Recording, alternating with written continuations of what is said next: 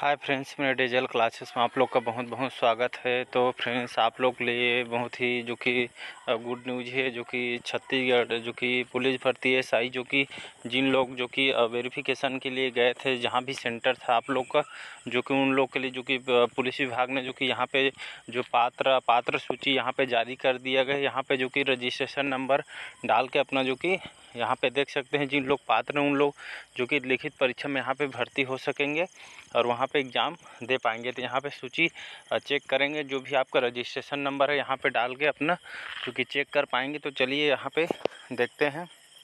तो यहाँ पे पीएसटी रिज़ल्ट जो कि डाउनलोड यहाँ पे आ, कर सकते हैं यहाँ पे जो कि पीएसटी रिज़ल्ट जो कि यहाँ पे चेक कर सकते हैं। तो यहाँ पे जो कि आपका रजिस्ट्रेशन नंबर जो भी आपका है यहाँ पे डाल देंगे। तो चलिए आपका जो भी रजिस्ट्रेशन नंबर यहाँ पे सही सही डाल देंगे।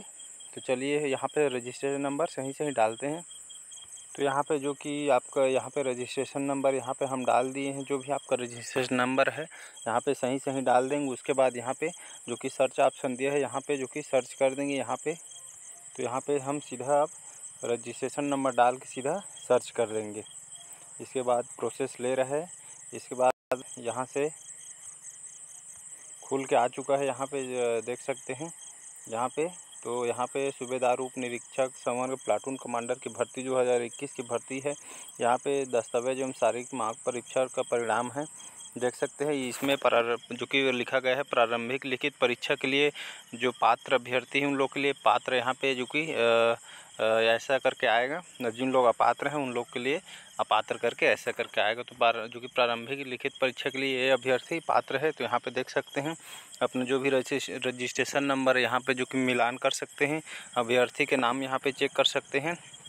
और जो भी आपका, जो कि वेरिफिकेशन शारीरिक मापजोप के लिए गए यहाँ पे जो कि जहाँ गए थे, आप वहाँ का जो कि यहाँ पे एड्रेस दिया हुआ यहाँ पे चेक कर सकते हैं।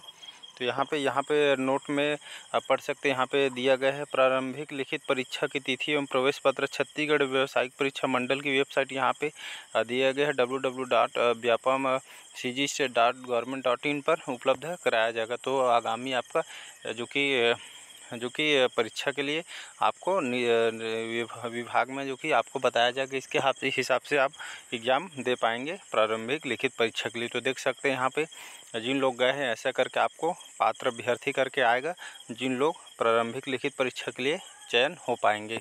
तो इसी तरह मैं डिस्क्रिप्शन में लिंक दे दूँगा, आप चेक कर सकते हैं अपना जो भी रजिस्ट्रेशन नंबर आप अपना चेक कर सकते हैं, पात्र अपात्र हैं, यहाँ पे आपको जानकारी हो जाएगा। तो इसी तरह के वीडियो फॉलो करने में चैनल को लाइक, सब्सक्राइब, कमेंट कीजिए और अच्छी लगे तो कमेंट कीजिए। कोई भी प्रॉब्लम आते तो कमेंट बॉक्स में कमेंट कीजिए तो मैं सॉल्व करने की कोशिश करूँगा। तो चलिए, बस आज के लिए इतना ही। इन्फॉर्मेशन के लिए चलिए, थैंक यू।